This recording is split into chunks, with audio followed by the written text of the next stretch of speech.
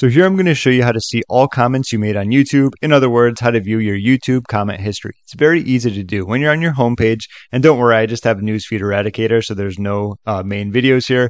What you want to do is click on your icon here and then simply scroll down and then go to your data in YouTube. Now, once you are here, what you want to do is scroll down a little bit. And the reason you might not be able to find this is because you need to click on this little caret or more, either or. So let's click on this right here, and you're going to notice that it shows the comments. These are all the comments that I have specifically made. Obviously, your number is going to be different. So I'm going to click on this. And as you can see, here's going to be all the comments that I have made. This is just starting with today. Most of these are going to be from helping people out who have comments or questions and so on and so forth. But if you scroll down, there's going to be plenty more like yesterday, and it's going to go very far down. I'm not going to scroll all the way down, but that's the very quick method in case there was a specific comment that you made and you want to find them.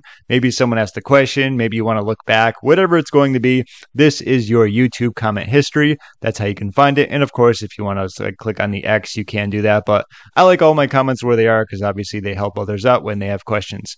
If you have any other questions when it comes to seeing all your comments that you've made on YouTube, feel free to leave a question down below. Nevertheless, my name is James. Thank you so much for watching this very quick tutorial, and I'll see you in my next video.